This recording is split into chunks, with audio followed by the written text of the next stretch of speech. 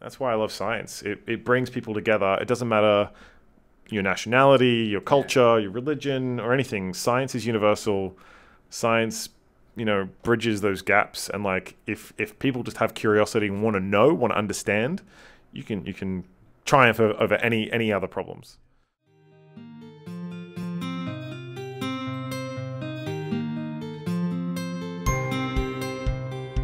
I can't think of any more human activity than conducting science experiments. The game I play is a very interesting one. It's imagination in a tight straitjacket. The beauty of a living thing is not the atoms that go into it, but the way those atoms are put together. What I always think should be the basis of education is not answers but questions. We should teach kids how to question.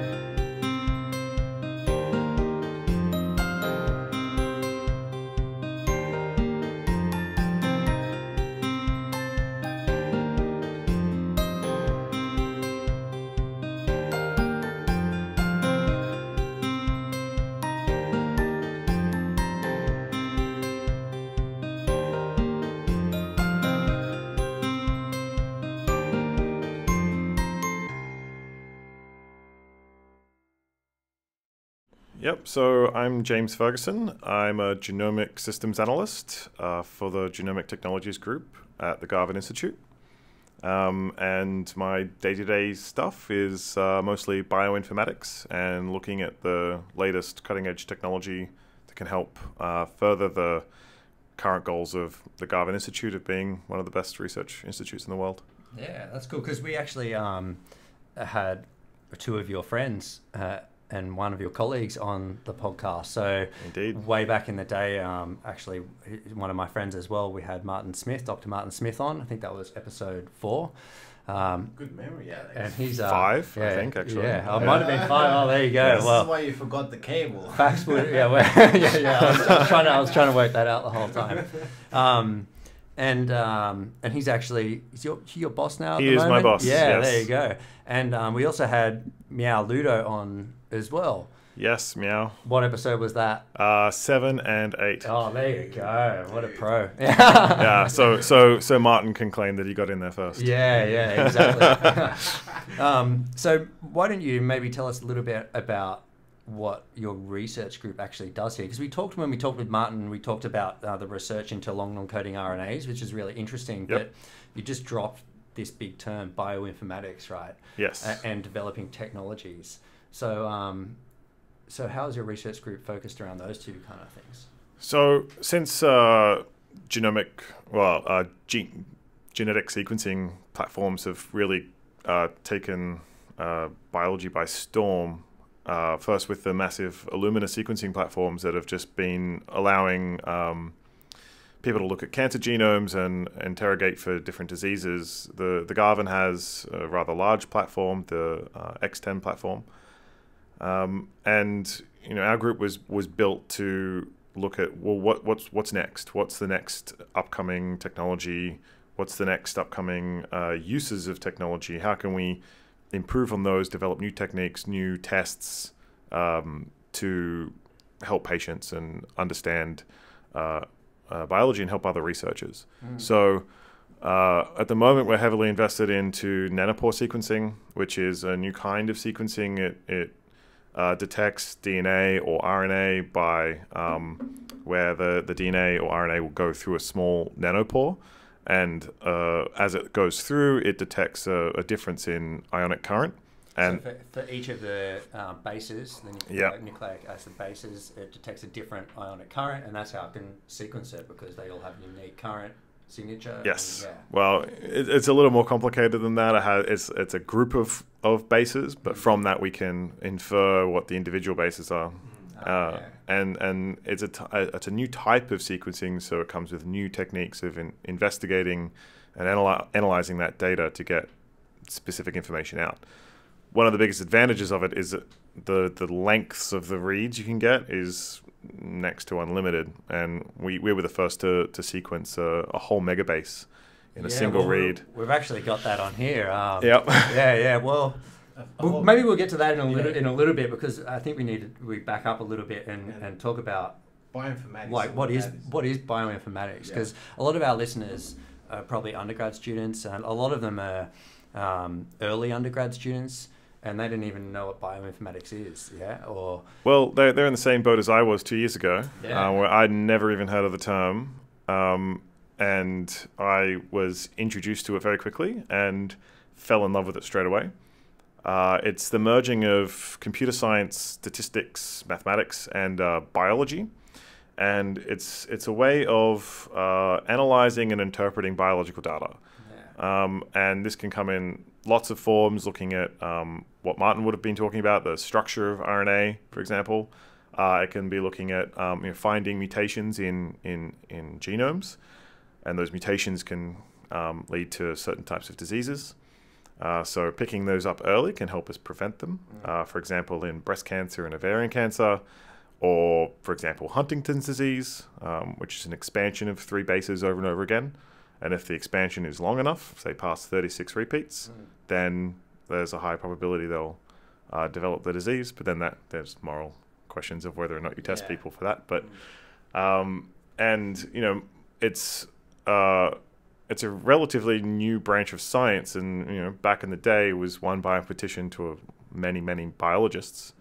Um, but now, uh, if you look at this place and the Garvan and the Kinghorn Center, um, our bioinformatics uh, team is growing rapidly. Yeah. Um, it's very much it's almost taking over a lot Uh, of our biology. a lot of that um, and correct me if I'm wrong but a lot of that would be increases in uh, in computing power as well I'd imagine wouldn't it? Because we have the, I guess the reason why bioinformatics is so important to biology is because genomes are very large and and they're cell specific often.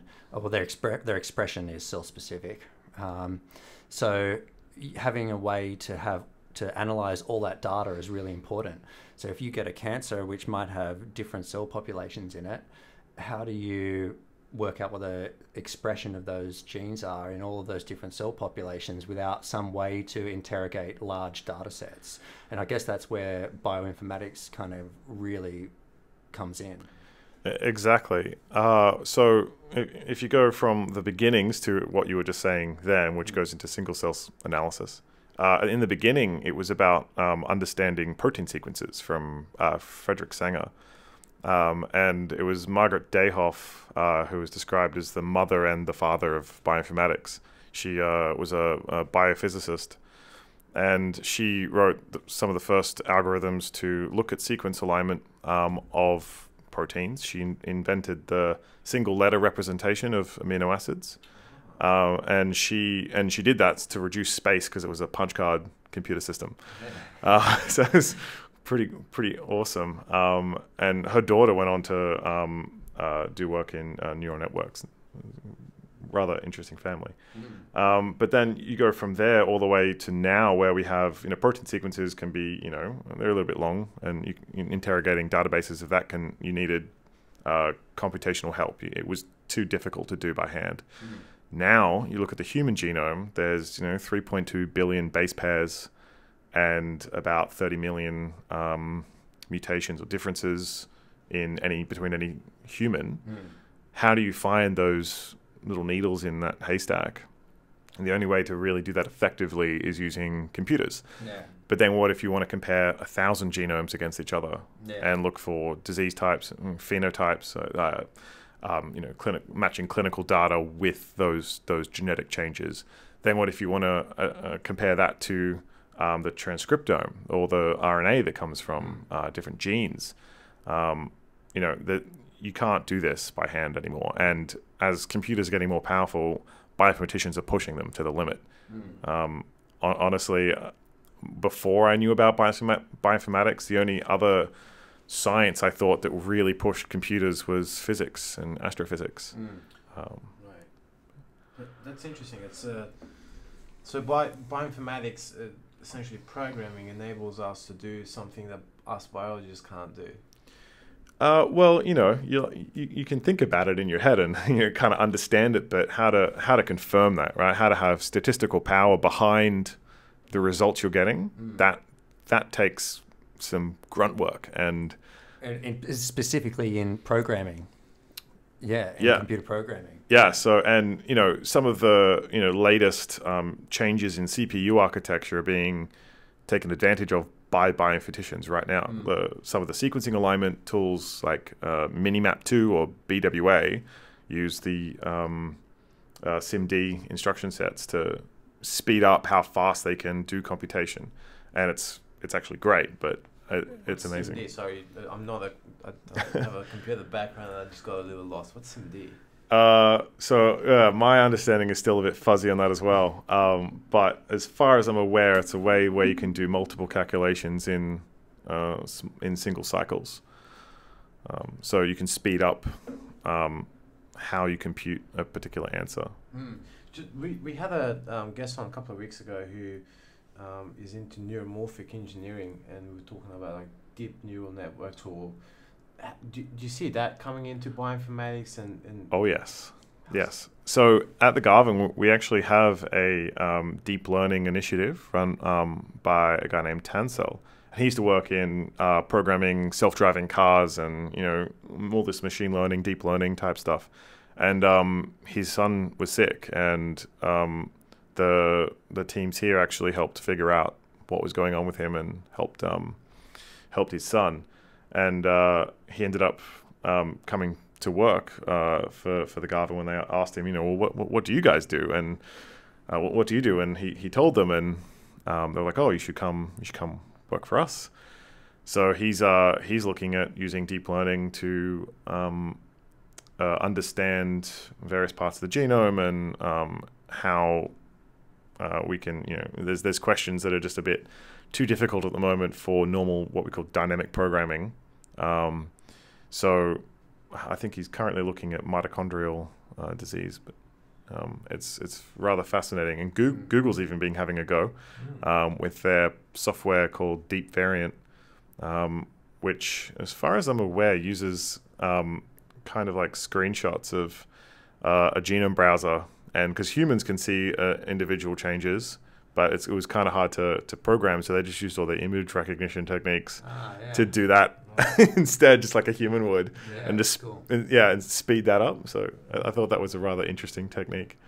Um, maybe we should talk a little bit because I know you recently gave a presentation. I think it was at UTS on um, open source Yes. bioinformatics software. Software because um, I think that's something that uh, you're a little passionate about, and and I'm particularly passionate about as well as the democratization of science and this kind of idea of open science about which is maybe a little bit different to open source programs, but I guess um, open source bioinformatics is really putting scientific tools in the hands of ordinary people. Yeah, I think one of the best things about open source bioinformatics is that when I when I get some data and I want to look at that data and get some answer out, um, I can actually understand how it's being handled because the algorithms aren't behind some black box. I can I can see them, I can understand them, and I can then even extend them. Um, science is a collaborative effort, and if you're holding things back from people, It is no progression. yeah, and Yeah. you you don't you know you never know where the next advance can come from. It could come from a, a high school student that was just passionate about a and really interested in an area. Um, it could come from you know someone from a totally different field that you know saw these things and just had a had an interest on the weekends. Um, and I think open source allows for anyone to have a go. And you know that I think that's what science isn't about. You know, people in their ivory towers um, kind of disseminating knowledge from above. Yeah. It, science should be something that everybody can participate in. It's- a verb. Yeah, Yeah. yeah. That- Uh, sorry, that reminds me of that. I'm sure you've heard of that kid who, uh, his grand was his godfather who developed, I think, prostate or pancreatic cancer, and then he went on some protein database and just searched thousands of proteins until he found one that he could then test for using some sort of nanotube of some sort. Have Oh, you heard wow. of that story? No, I haven't. That sounds really interesting. Yeah, he gave a TED talk about it and how he was able to. Uh, I think he attached antibodies or whatever, but but the test was essentially like a thousand times cheaper, like some five hundred times faster, and it only costed like two cents to do, and that wouldn't have been possible if that if that information wasn't available on the internet. Exactly. Yeah. Um, I guess the one. before before I go, do you, uh, I, I guess open source when it comes to that type of data. I mean, that kid was an exception, but is there like a, a barrier for? Just about to ask that question. Well, sorry. no, no, you're right. Go ahead. I'm just gonna steal your ahead. material. yeah. Is there a barrier for normal people to kind of engage with that sort of data? like a, no, a, no, a knowledge barrier, right?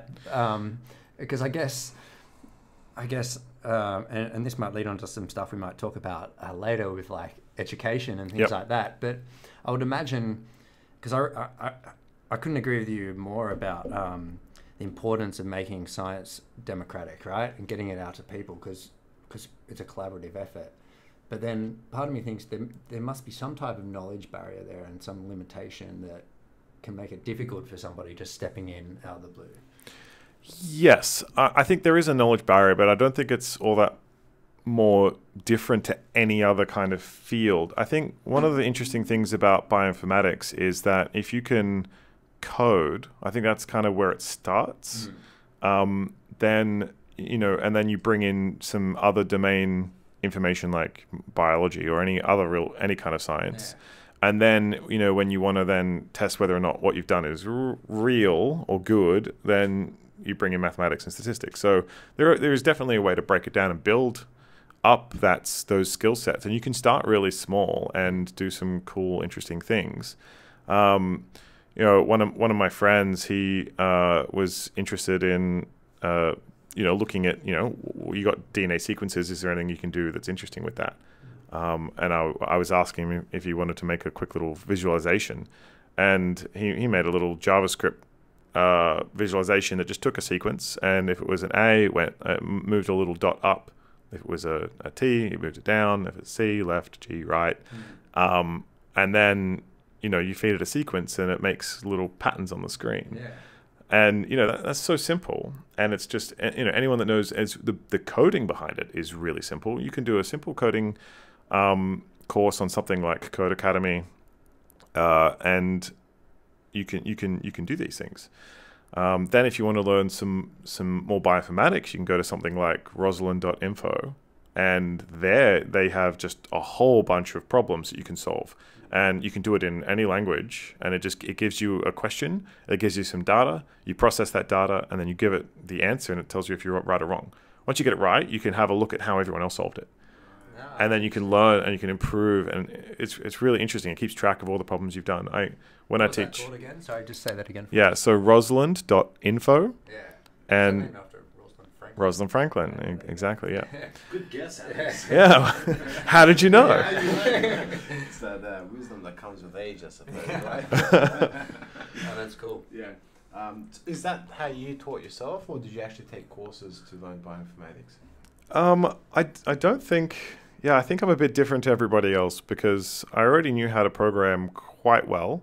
Um, I taught myself how to program uh, when I was a kid, and that ended up turning into uh, some work. Um, and then bioinformatics, I got a crash course. Um, and uh, shall, I- shall I tell that story? The- Yeah, yeah, yeah. yeah, so um, I was uh, I was working as a programmer for a company called Primary Healthcare. Um, they're a large pathology provider, um, Laverty Pathology, in New South Wales, Dorevitch in um, Victoria, uh, and um, you know I, I went to a, a hackathon in in um, uh, Wollongong called Hackagong, and I met Meow, um, and that basically changed my life. And uh, I was really interested in, you know, what what is this biohacking thing, and what you know, what are these biology suddenly interesting again? You know, I, I never really gave it much time in in my um, previous studies or even at high school, and uh, I ended up, you know, going to a few hackathons, and then my friend uh, Laura, she invited me to a hackathon called Health Hack, and this was an open source um, hackathon, but it had a had a bit of a twist where you have researchers that have problems, and so they're problem owners, and then they invite um, people to come be problem solvers. So you bring uh, your your skills to someone else's field and try and see if you can help them out, um, which is interesting in the field of bioinformatics because if you know computer science, um, and you, you can code like a beast, then you could probably solve some of these problems. Yeah. Um, and I, I say that openly to anyone that knows how to code. You could come and you could you could do something really interesting um, in a very short period of time. Um, most bioinformaticians that I know didn't come from a mathematics or programming background. They came from biology and they learnt the rest. Where um, there's very few that I know that came from the other way around. Though I think that's increasing now that we have actual bioinformatic courses at university. Um, so I came to Health Hack and I was on a team with Dr. Timothy Mercer. Um, and he's a group leader here.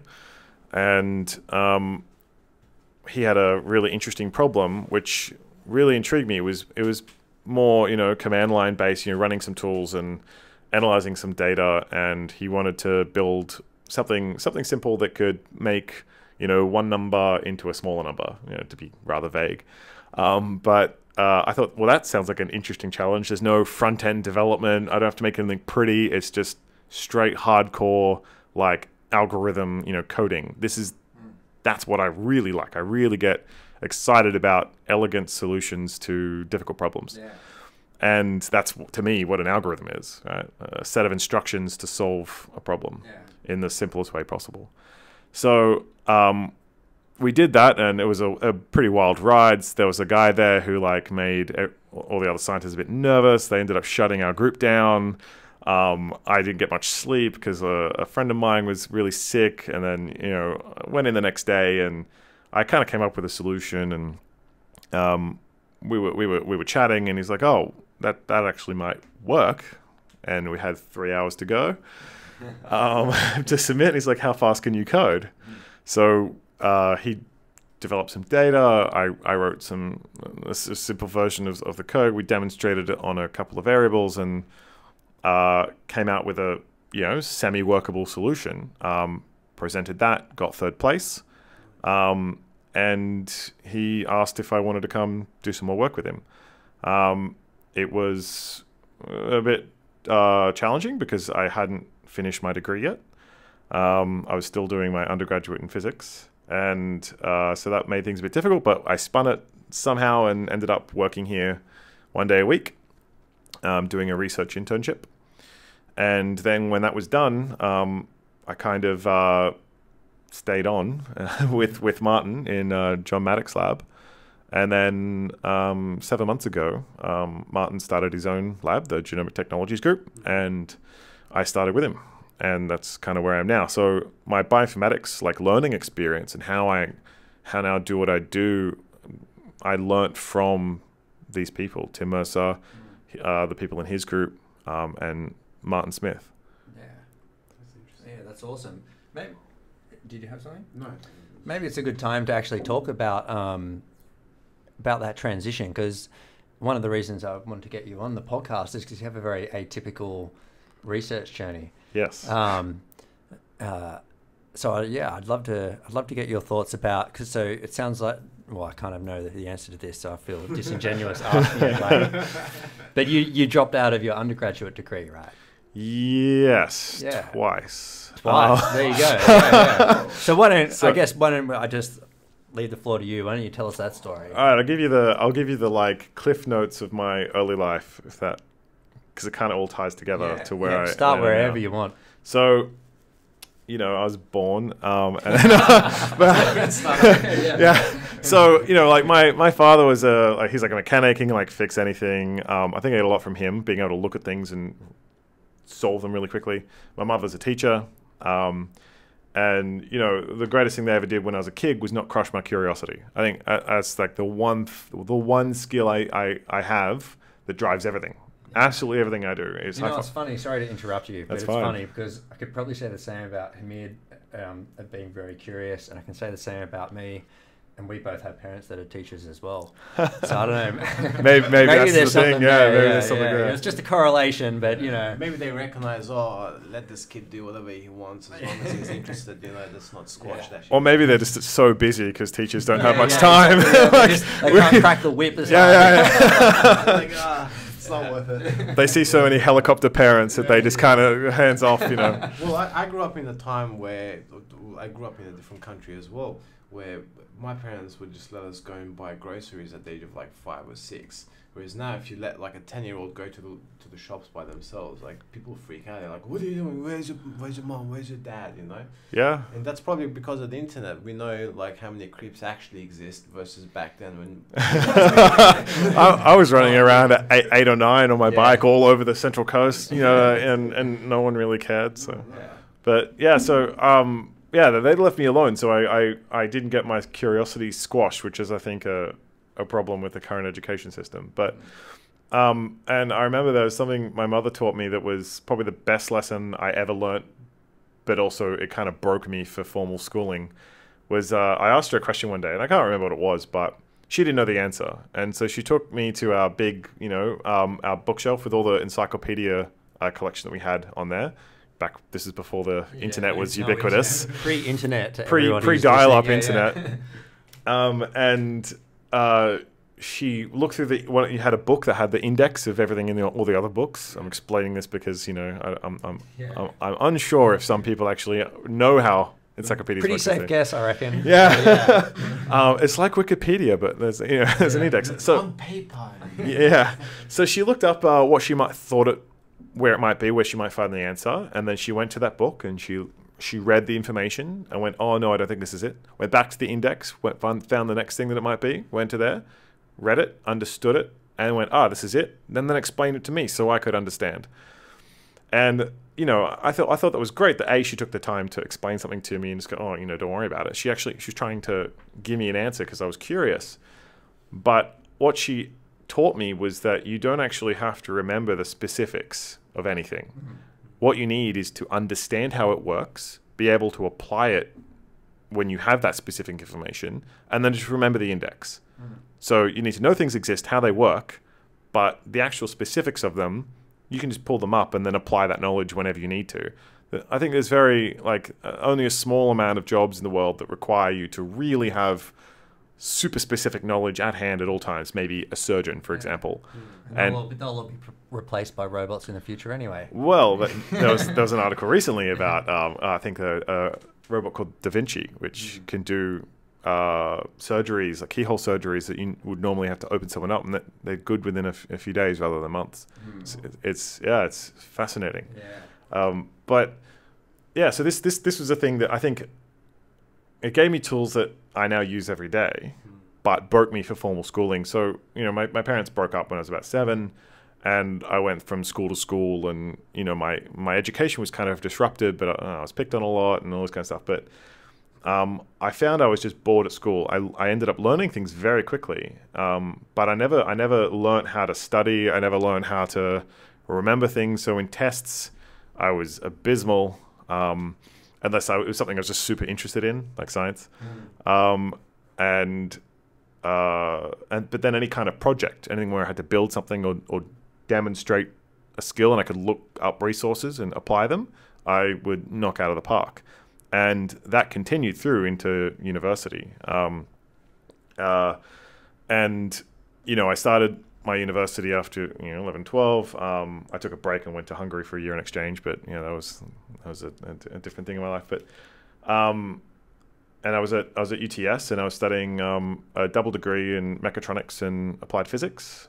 And I kind of wasn't really doing the, the physics subjects at, at the time. They, were- they were kind of in, they, they overlap with the engineering ones, and it was super interesting. I did uh, the subjects where I got to build things, where I got to make stuff, and, and I did I did all right. And I, I, all those assignments I went really well, and all the theory um, exams I failed miserably. Um, and it wasn't from like a lack of trying. I, it just seemed to me that I, I tried, but I still had this thing in my head, which was like, why am I doing this? Why why do I have to demonstrate that I you know understand something without any of the resources that I'd normally have? And that re- it really frustrated me. I don't think it, I, I I don't think it, ne- it never really clicked. It went, you know, I'm, oh no, I'm gonna I'm gonna do it the way they want me to. Um, I do have a little bit of a penchant for um, not liking authority all that much, but um, so uh, yeah, that was that was really hard, and I was you know I didn't have much money, so I was working full time as well, so that didn't really uh, wasn't very conducive to having good marks, and I eventually um, I got I got kicked out of uh, that degree program. Um, so then for a year, I, I, tried to join the Air Force to become a fighter pilot. Um, uh, that didn't work out, uh, so I ended up going back and I, I re-enrolled. They, they let me back in to, to do uh, physics again. And uh, I was doing that part time while working full time. Um, I was working in, in a lab um, in pathology.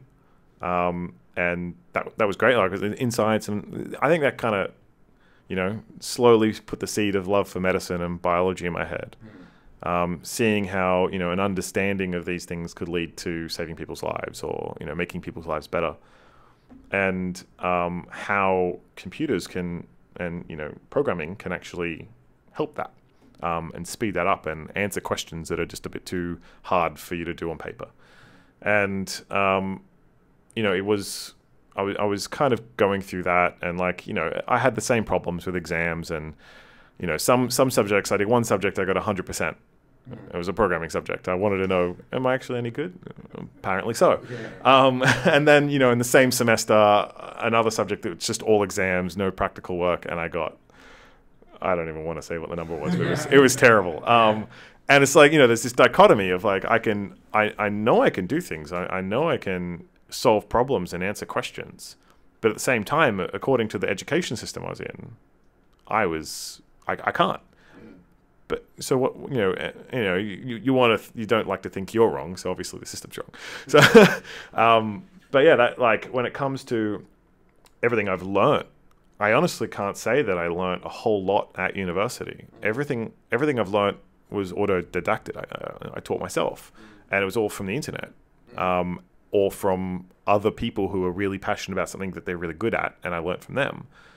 And you know I think um, when, when I think about education, I think think we're stuck in an old mode of, um, you know, the teacher is an authority and or a tutor or a lecturer is an authority on a, on a subject, and they're disseminating information at you, and you're expected to remember that information and then regurgitate that information. And you know, fair play, there are people who are trying to fix that.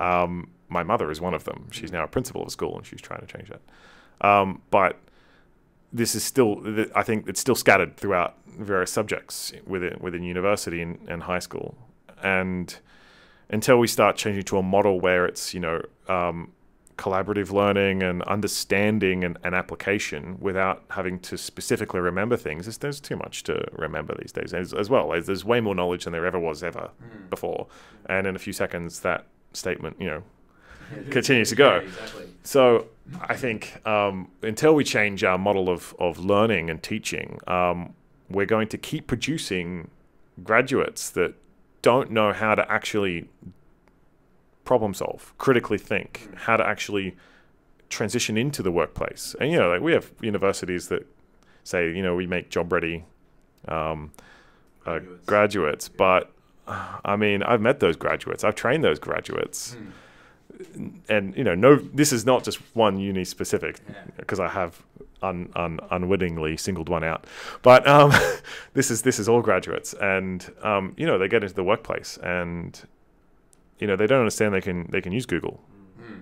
right? They can have a textbook yeah. on their desk that they can look up. They can use the internet. I, I guess um, I'm about to like in a week, right? I'm about to like go and uh, teach a first year science unit to to a whole lot of uh, kids coming in, and in typical plugging my own stuff uh, fashion, I'm going to be giving them this podcast to listen to. And your podcast is going to be first off the rank. So, so like, so, so, what am I going to tell my students like when I walk into that class about about why they should continue at uni. And now let me throw you a bone and give you why I reckon. Um, I reckon it's because sometimes you develop um, skills at uni, and I, I, I look, I agree, actually agree with you on pretty much everything you've said. oh, I, I have a, a big problem. I do have big. a caveat that I haven't said yet. Yeah, but. yeah. Well, it might be. Yeah, I might be kind of alluding to this caveat. Um, I, I think that you've acquired a certain set of skills that people can acquire through uni. That would be my yes. guess, and and, um, and and that's probably what I'll be telling my students, right? Yes. is is you're not here to get a piece of paper. You're not here to learn a bunch of facts. right? You're here to to develop skills to be a critical thinker. You're here to develop skills to do your own research and those types of job ready skills, right? Yes. Um, and so, so what are some of the skills that you think that have led to your success? So you you've you've you've ducked out of the university system, yet you're still a very successful person. So, so what are those skills? You, you mentioned a few of them, but Okay, so yeah, so I'll, I'll start with the caveat, and and that is that um, I think you know no nobody should do things the way that I've done things. I think that's the hard way of doing things. Yeah. Um, um, but I've never really done anything the easy way. Um, and you know, if you are good at university, or if you know you can get through that system, um, just try and maintain your curiosity, like keep that intact. Um, but yeah, university is a place where you can learn skills, where you um, where you can um, become a critical thinker. But I think it's also another another thing that university does is it you, you it allows you to create a network, allows you to meet people who are also you know interested in different things, and when they go off to different workplaces, you can you, you know people in different Yeah. places, and you can collaborate later. which is something that sounds like the first half of this uh, discussion. You've been telling us about all the collaborations that you've made. Oh yeah, So, yeah. yeah. Um, and so um, now to do with skills that I've learned that you can learn at university um, that have led to you know, some of my successes is um, you know the ability to not necessarily take what somebody says as gospel. That you know this is this is critical thinking. Can you take information um, that is given to you and compare it to other information that you've heard and discern, you know, um, a question. Not necessarily discern what is true or what is not, but discern a question. And and from that question, you can then go down a path to try and find that truth. Yeah. And I think that's too too often we're told, you know, the whole fake news thing and like, um, you know, how do you discern uh, true from not true? Um, they miss the middle bit, which is can you formulate a question? And I think that's like one of the skills that you need in in science to be successful is Knowing the right question to ask. in a sense. exactly. Yeah. And and the way you do that is, um, you know, th- this is a skill that that a lot of lecturers will try and teach you, but I don't think many people are paying attention um, because they're trying to they're they're focusing on what is the content, what's in the test.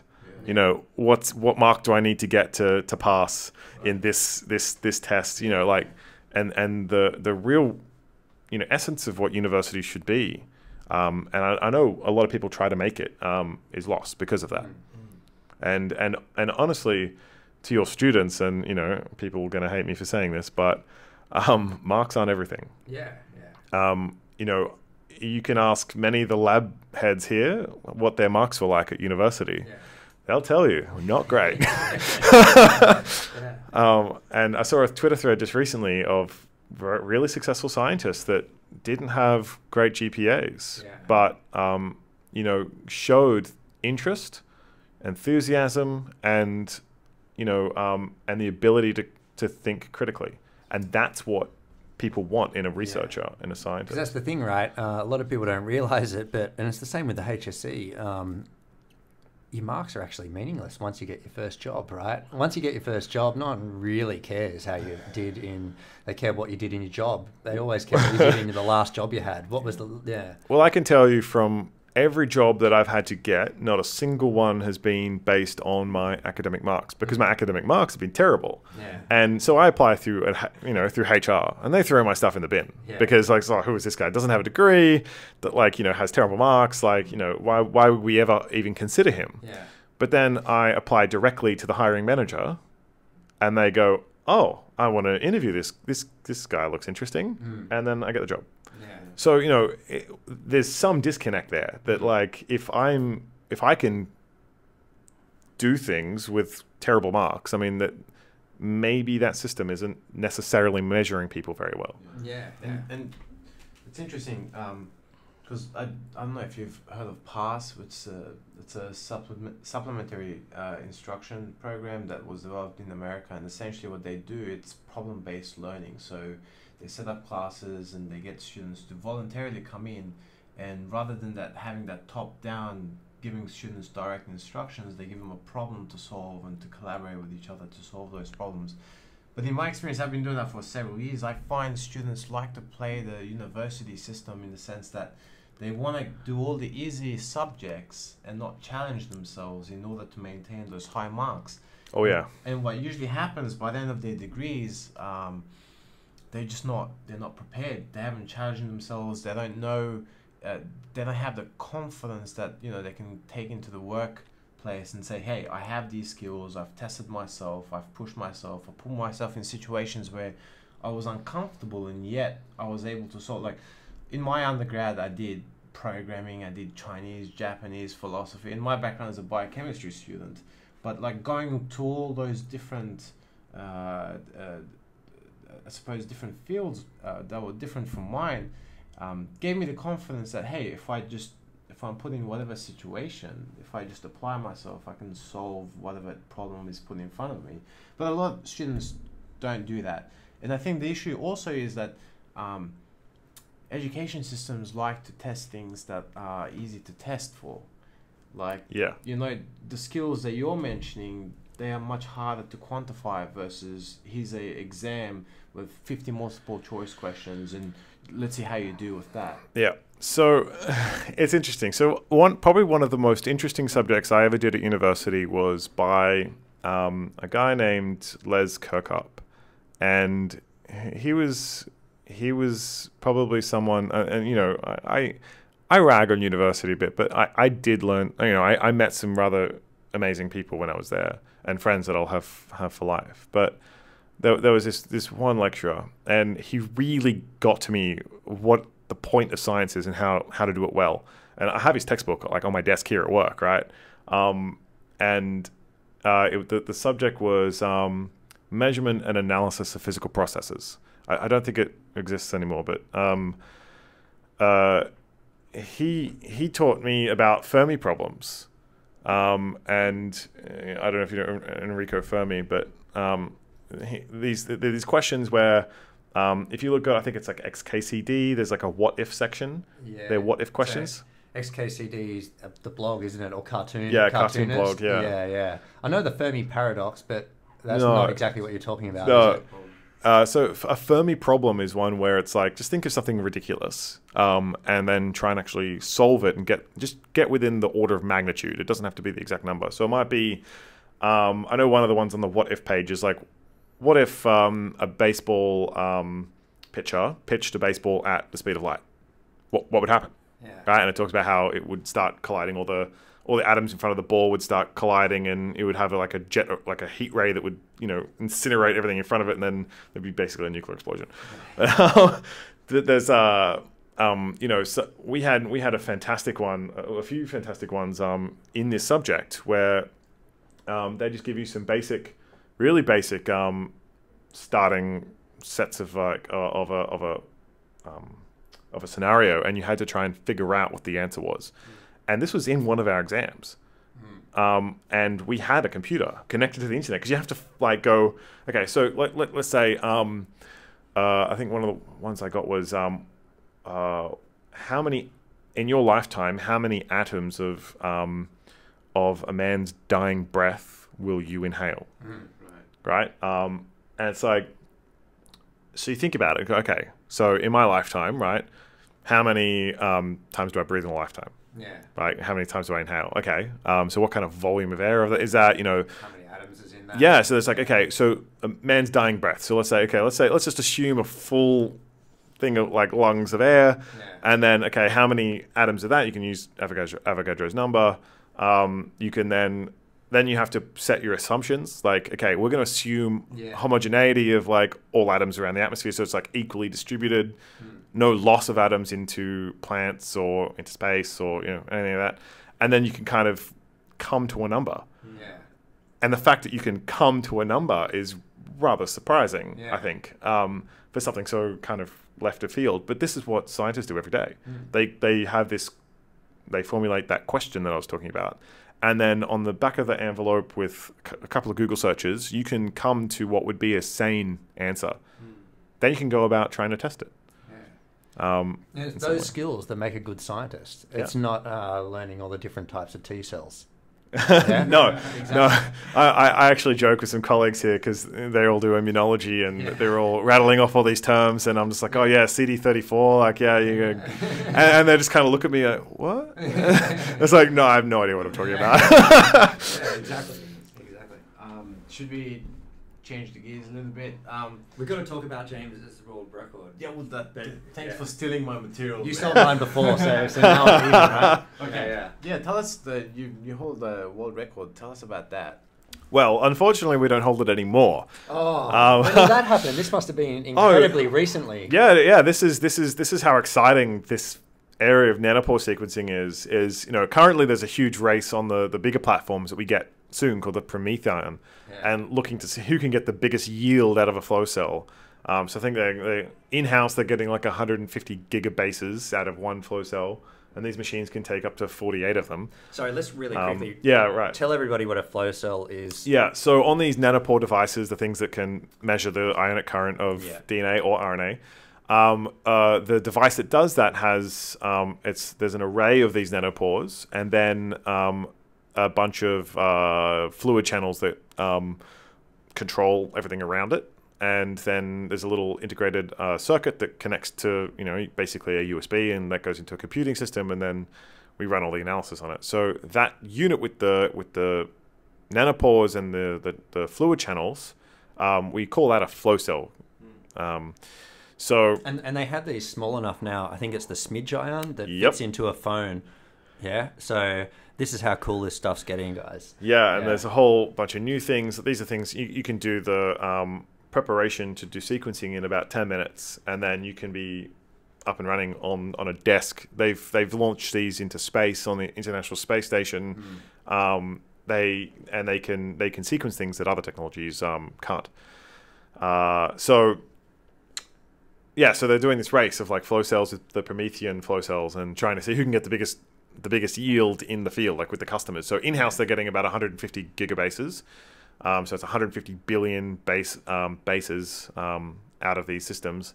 And in the field, I think they're um, people are getting around 90 gigabases. Um, so they're like slowly climbing, and you know this is it's really exciting. So in our one, we were we were looking at length. Who could get the longest single re like length of DNA to go through a pore?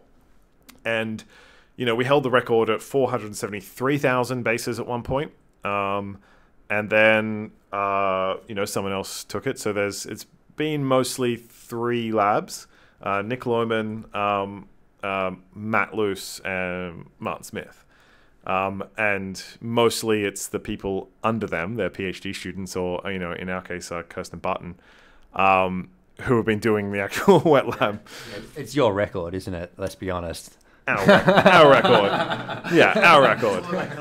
like it's science. It's a collaboration. There's when when everyone when anyone in science ever stands up and said I did, Yeah. just always translate it that into your head as We did, we did. we did as a like rather large group and probably collaborations in other places. So, um, but you know, like you shouldn't take away from their glory. They still worked hard, you know. Uh, so um, yeah. So then we we we then got a read that was like nine hundred and something thousand bases. Um, and then a new base caller came out. So a software update came out. Um, and it, this is the thing that turns those little um, current measurements into the ATCGs of, of DNA. And from a software update, our 900,000 or whatever base pair read went into uh, over a megabase, so like over over 1 million bases, um, which is insane. The fact that you know you can we can like from a simple software update you can you can get better information. You don't have to redo the experiment, um, which is amazing, for, especially for this kind of technology. Um, and that was recognized. We were the first people to to break one megabase. Um, and then within, I don't know, it was like a week or two, um, Matt Loose came and smashed it with 1.3 megabases. And I think that's the current record. Yeah. Um, and uh, although I know that there are a few people out there um, coming for that record as well, um, uh, yeah, so. That's cool. And and um, we'll probably have to get permission of, from Martin to whack a picture of this on, but he had a quite a nice little poster uh, at the Lorne Genome concert uh, conference. Why don't you tell us about his poster design, and we'll stick it up on there. Yeah, so Martin Martin took a rather um, so just for those who don't know about posters in science, it sounds a bit like you know primary school stuff. But um, if you ever remember making a poster about a particular topic, it's it's actually exactly the same thing. But it's a rather interesting exercise for students um, or really anyone to demonstrate a certain area of research um, in a concise way. So you have a few figures, you have some text, um, and you're trying to explain your research. Um, and I've presented a poster now, which was a really good learning experience. And they're always really boring, aren't they? They always like intro, abstract, Yeah. method, results, discussion. Exactly, it's like a mini paper. graphs, Yeah. Yeah, and like people try and change it up and They like put the heading on the top and then the intro Yep, and then yep. it flows down. And, yeah, and sometimes you'll get someone that puts a iPad in there so you can like kind of do something interactive. Yeah. Uh, Tansel, the deep learning guy, he he, he did that this uh, this year at Oh, Lorne. But um, Martin decided to take a different tact, um, and he printed out our one megabase read um, at I think it was point uh, four point font, um, which by the way is a pain to print. Um, he printed it on two AO size Which paper. like biggest. Yeah, it's like yeah. 800 and something by 1.2 meters or something. Printed out two of those um, with a few little figures at the bottom um, uh, of that read and had a little magnifying glass. And, it was a, a, a rather al- alternative way of presenting, um, you know, but he said, you know, like, welcome to the, to the macro um, genomics revolution. Like, we are looking at um, things where you know it's no longer these tiny reads. We're talking like things. And uh, someone on Twitter um, said that if your fist was the nanopore um, uh, that the, that DNA went through, the strand of DNA would be 3.2 kilometers long. right, just as a sense of scale. Yeah. And then um, for the, and then if you think of the scale as if uh, you know there's about s- um, uh, six point uh, four billion bases in the human genome because it's like you know base pairs, so you can double it. Um, then if that's the uh, the population of Earth, uh, approximately, you know, maybe a while ago, but um, if that's the population of Earth, um, this particular read um, came from chromosome 19. Chromosome 19 is um, about the population of Italy. Um, and then, you know, the other kinds of sequencing technologies that only do short reads, their their read length is about the populate like the amount of people in a, a metro car or a, a train carriage. Um, this read is the population of Milan.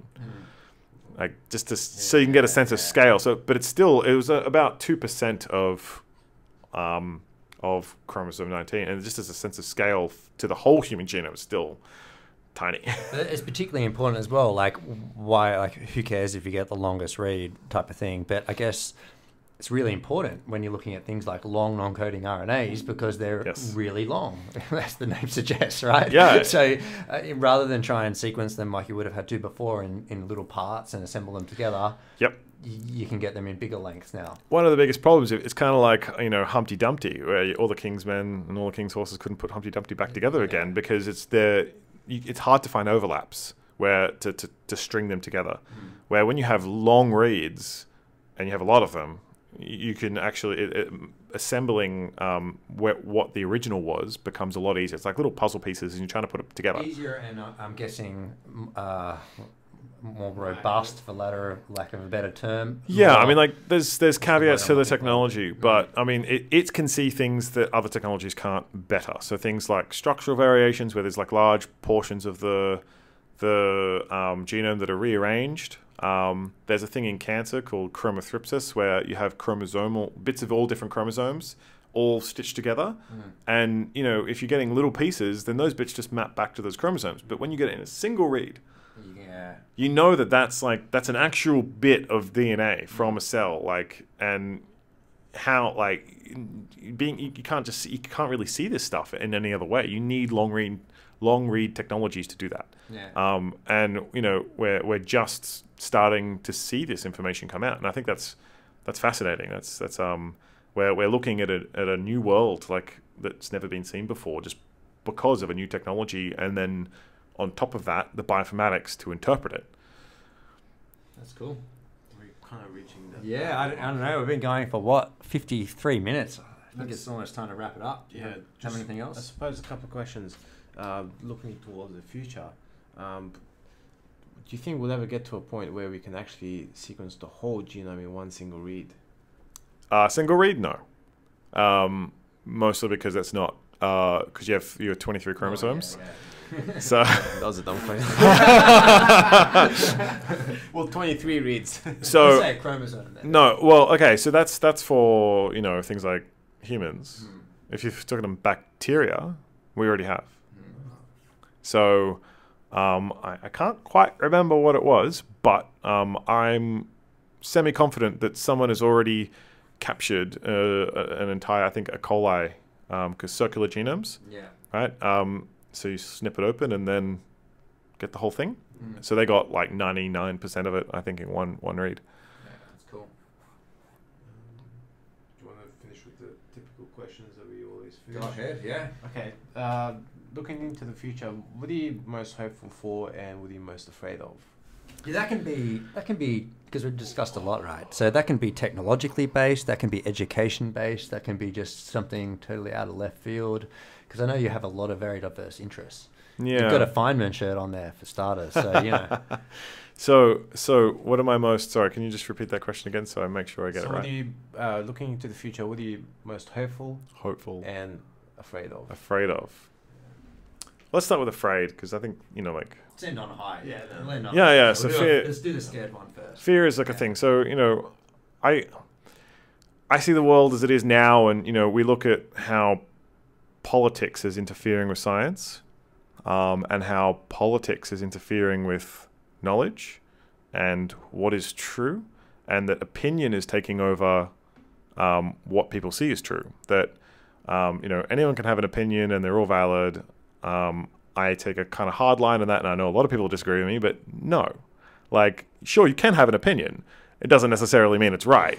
Um, and I think that I, I'm, I'm fearful that that will continue, and it's going to erode the basic principles of how we do critical thinking in society and, and in all realms. Um, you know, I, I, I've been part of the science party for a while um, because they try to look at um, creating policy from evidence rather than ideology. Um, and, you know, th- th- these are things that I, I find worrying in, in, in the way that I look to the future. However, then I see people like Elon Musk, um, who, you know, just launched a car into space and landed two rocket boosters simultaneously, like, um, and uh, sold was it twenty thousand or ten thousand? I can't remember. Uh, flamethrowers in a couple of days uh, from a joke, right? It's like, but but is pushing the boundaries and and can kind of take things not so seriously, right? And and can push science in a way that's like, um, that I, I never thought people could do. You know, you, you could push science and have a lot of fun at the same time. Um, and I, I, you know, I, I was having a really hard time just a week ago. I had like the first panic attack of my life ever. Um, and I was really freaking out. Um, I had a lot of pressure on me. I, I had a presentation to do, and um, I was going to that conference. Um, and that next morning, um, Elon Musk launched the the Falcon Heavy. And I remember I, I was on the train. I was watching like the launch, and I was like filled with hope. Like we can do this. Like we can. Like there are people out there that can solve problems that everyone says you it can't be done. Yeah. You will never succeed in making a privatized space space company. Like, um, and I got to work and went, you know what, I, I can do this, right? And I can I can push push forwards. And I think mentorship like that, like you know, he, he, he's like uh, someone I, I admire, but mentorship can change like the perceptions and outcomes of people like nothing else. And you know, I, I want to thank all my mentors like Martin Martin Smith and John Mattick and Tim Mercer and you know my friends. Like we all push each other to kind of achieve things that everyone else says can't be done. And I think if more people could do that, I, I think we have a very hopeful outlook for for everybody, and and perhaps we can get past those fears that I just mentioned. So That's awesome, man. Really good. Yeah, I was reading actually just to end on this. I was reading uh, Elon Musk's autobiography. I need to read that. Oh, it's really good. Well, he actually wanted to um, send a rocket to Mars to get public to uh, get the public interested in science, but a, a bunch of shit went wrong, and then he changed, and now he's got you know what he's got now. So that's really cool. Well, there was one thing that I found that was fascinating was that people were saying, "Oh, you know, why would you send a car to space? That's like, you know, what a waste! Like, it's not even a scientific payload. Blah blah blah blah." And then, you know, some astrophysicists were like, "Hold my beer," and they've been looking at the as the car spins in space and the, the whole thing. Um, they've been using like the brightness changes and everything to look um, and try and use the algorithms they use for looking at asteroids and determining their shape to do the same thing for this car, but it's a known structure. So they can test and benchmark all their So they can verify that their methods are actually working on. Precisely. yeah. So just uh, uh, undermines the. Um, uh, sorry, it it reinforces the ability of scientists to kind of always find a way to use any information to like exactly gain and, knowledge. and i thought that was absolutely fascinating Yeah, i saw this brilliant. wonderful twitter um, twitter conversation of people and then and, and because everyone just went oh i'm gonna have a go at that and there were people like from all over the world in this one conversation going oh that's really interesting. I wonder if we do this this and this and then posting some data for everyone to kind of look at. Yeah. it's like this collaborative thing and i think that that's why i love science. It, it brings people together. It doesn't matter your nationality your culture your religion or anything. Science is universal. Science you know bridges those gaps and like if if people just have curiosity and want to know want to understand you can you can triumph over any any other problems That's awesome. Take that, flat earthers. All right, I think we'll end it there. Thanks, Jay. Thanks a lot, Awesome. James. It was awesome. Cheers. Nice. thanks See you later.